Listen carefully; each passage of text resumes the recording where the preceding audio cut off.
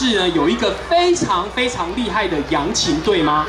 当然知道啊，他们位于龟山区的龙寿国小扬琴队，是优良历史传承的队伍。那他们呢，成立于六十五年，从黄金山老师指导，历至今已经四十多年的历史。团员们除了利用周三下午时间进行练习扬琴教学团外，那并在呢每个周六的上午加强就是扬琴演奏技能。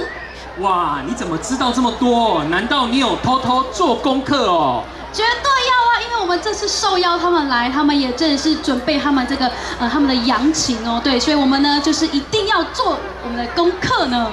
哇，那因为啊，这个是啊扬琴呢，它是一个团队合作的表演，所以大家看到我们上台之前就有这么多的准备工作，所以非常的不容易。而且呢，我们这群孩子年纪小小哦，但是呢，他们的练习而且是非常努力而且不间断的。哦，志豪呢曾经有进入到过这个龙寿国小哈去做一个访视。所以呢，也有看到他们扬琴队的练习，而且我有一个帮助的孩子，也在这个扬琴队里面做练习哦。所以真的，呃，扬琴呢，也带给我们荣寿国小的孩子另外一种啊不同啊于其他孩子的一种表现啊，以及一不同其他孩子的一种演出。所以我们等等，真的可以期待他的演出哦。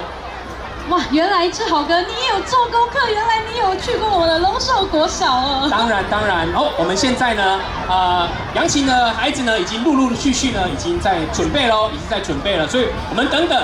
真的要用我们最热情的掌声，好来欢迎这群孩子。好，我们还是在做慢慢的准备，我们不紧张，我们下面的老师以及孩子都不紧张，我们等待着您，我们等待着您精彩的表演。